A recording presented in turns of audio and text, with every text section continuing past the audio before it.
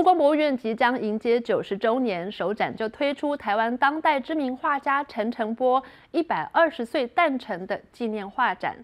这次画展从北京、上海、东京，最后回到了台北，在故宫展出了将近八十幅画作。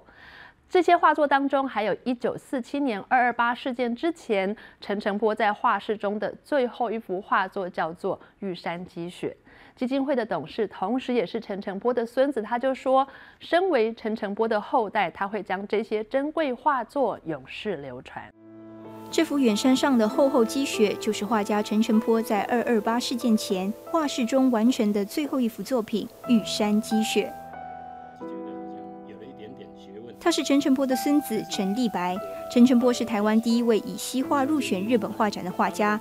他说：“阿公虽然在二二八事件牺牲生命，希望他留下来的珍贵画作能在台湾永远流传。”就是说，我们继承了前代的东西，前面的东西，把它当成一个有形的资产，还是无形的文化资产都可以。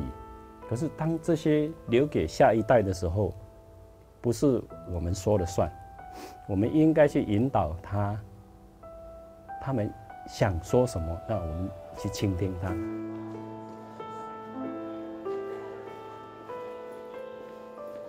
今年是陈澄波一百二十岁诞辰，他的纪念巡回展最终站来到故宫，这同时也是故宫九十周年院庆的第一个大展。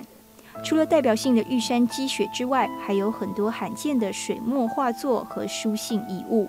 像是陈澄波在三零年代画下当时的嘉义街景、嘉义公园，为历史留下记录。电影《卡弄》就是参考陈澄波的画作。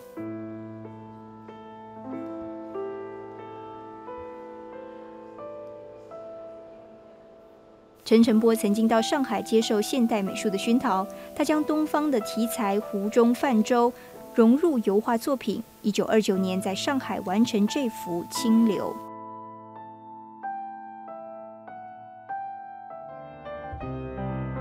我的家庭创作时期，记录了陈澄波全家聚在上海最快乐的一段时光。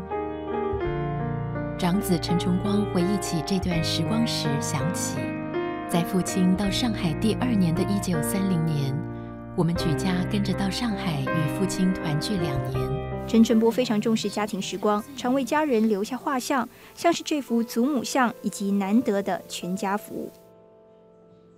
陈澄波藏风特展将在故宫展出至明年三月，透过画作回顾台湾历史。